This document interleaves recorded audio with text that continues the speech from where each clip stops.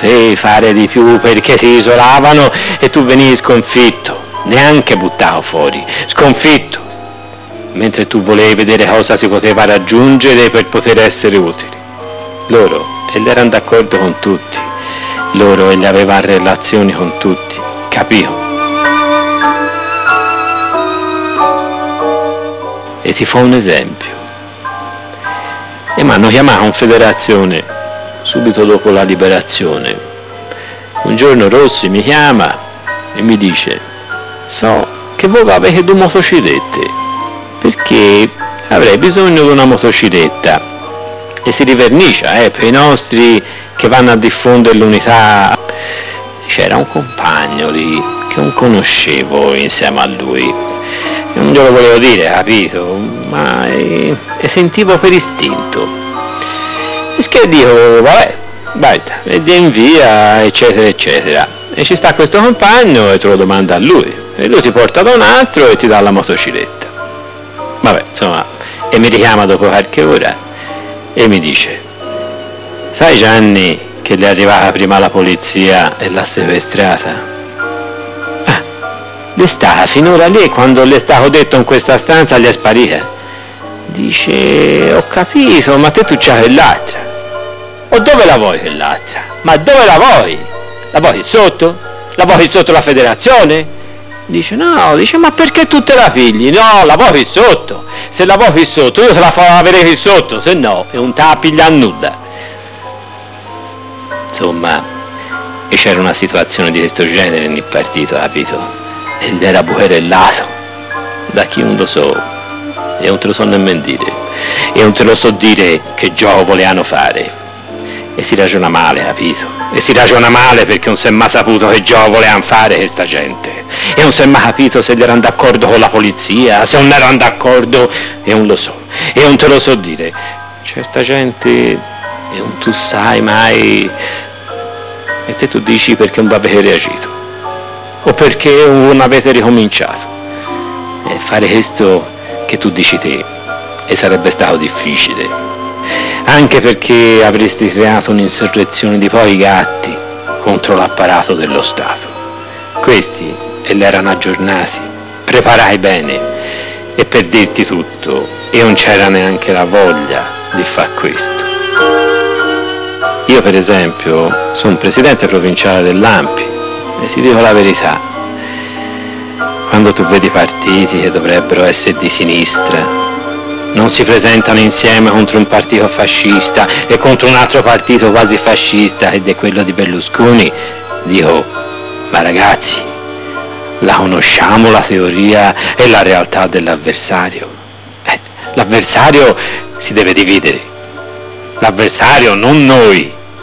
Eh, dobbiamo dividere noi l'avversario per batterlo meglio. E ci si divide noi almeno in questa battaglia, e dobbiamo essere uniti. Dice, non servirà a nulla, e non lo so, e non lo so se servirà a nulla. Certo, se ci si presenta divisi gli andrà peggio, perché vincono loro e avremo per cinque anni al governo i fascisti. Io dico che è peggio. Secondo me è peggio.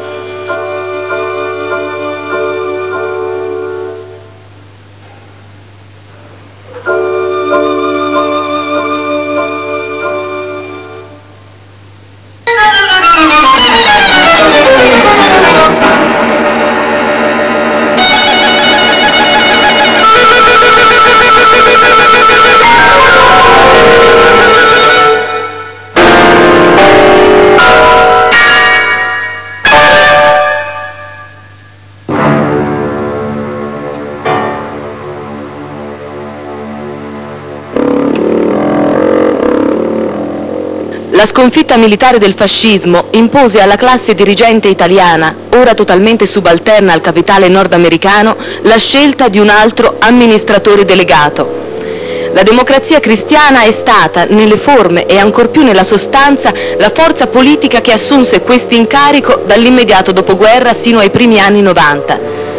È in questo contesto nazionale ed internazionale che la DC, garantendo l'applicazione in Italia della dottrina della sicurezza nazionale implementata a livello mondiale dai governi nordamericani, ha ridotto il nostro Paese ad una nazione a sovranità limitata, violando conseguentemente le leggi e la Costituzione italiane.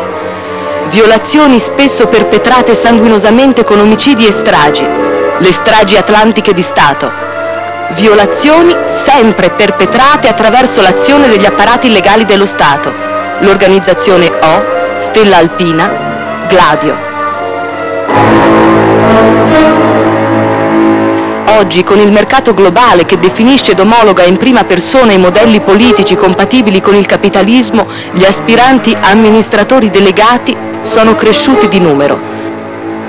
Questa concorrenza tra amministratori ha portato paradossalmente alla riscrittura condivisa di un'altra resistenza, immaginaria e santificabile, nella quale c'è posto per tutti.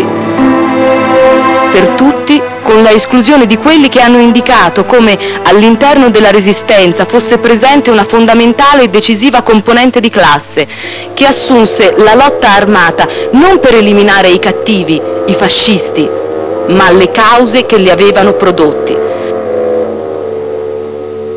Questo revisionismo storico è riuscito a proiettare la resistenza verso le nebbie di un passato percepito come remoto, eludendo così la necessità di spiegare alle generazioni che sono venute dopo le cause e gli obiettivi che fecero decidere decine e decine di migliaia di giovani operai e contadini dopo vent'anni di fascismo ad iniziare una difficile e spietata lotta contro di esso, quando era chiaro che la liberazione dal fascismo sarebbe comunque arrivata, senza rischiare nulla, al rimorchio degli alleati.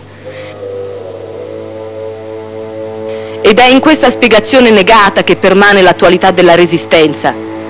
La Resistenza ha provato, e le interviste di Gianni e di Foco sono un contributo vivo per ricordarlo, che le classi subalterne sono disposte ad entrare in lotta quando si tratti di realizzare, sulla base delle contraddizioni del capitalismo stesso, un altro mondo possibile, concretamente democratico ed antitetico a quello capitalista. Oggi la lettura dialettica della globalizzazione ci mostra come in grandi percentuali delle classi subalterne vengano indotte categorie politico-culturali che risultano compatibili con quelle che hanno prodotto il fascismo nel nostro Paese ed in Europa.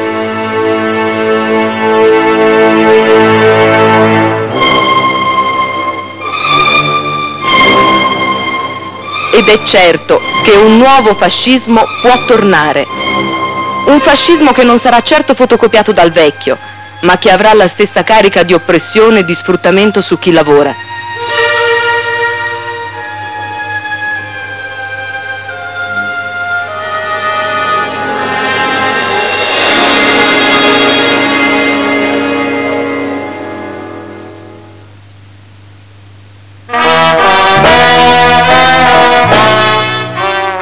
Dimenticare significa perdere l'eredità di una lotta che è ancora inconclusa. Non dimenticare obbliga a comprendere, a smascherare, a continuare quella lotta. Per combattere questo nuovo fascismo non ci saranno i vostri nonni o i padri dei vostri nonni. Ad affrontarlo toccherà a voi.